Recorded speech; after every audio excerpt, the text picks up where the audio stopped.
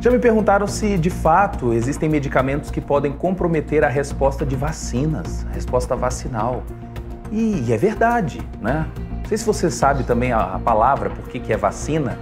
É uma homenagem a um pesquisador inglês do século XVIII chamado Edward Jenner, que utilizou extratos da pústula né, de, de vacas, restinho dessas pústulas de vaca, para administrar em uma criança de 8 anos.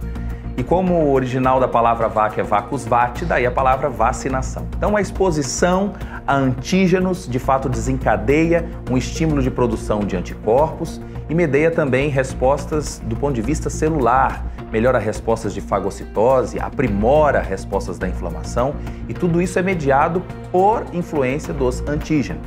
Então guarde uma coisa, os corticoides têm ação imunossupressora eles passam a atrapalhar a produção de anticorpos mediadas por linfócitos B.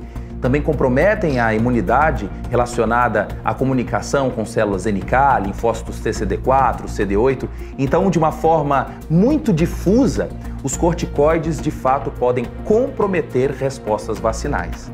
Não quer dizer que o indivíduo utilizando prednisona por mais de 5, 10, 15 dias, só porque no dia da vacinação ele não foi exposto ao corticoide, ele está protegido dessa interação medicamentosa.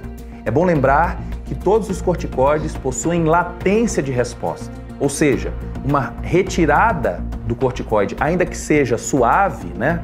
Se preocupando aí com um restabelecimento da nossa produção de cortisol, ele faça uma retirada gradativa, que é correta, não é, podemos dizer que após a suspensão desse tratamento com corticoides, a imunidade está totalmente restabelecida nos próximos dias. Então convém considerar realmente se há a necessidade de usar a vacina em momentos tão próximos do tratamento com corticoides, ok? Para que não haja um comprometimento da resposta vacinal.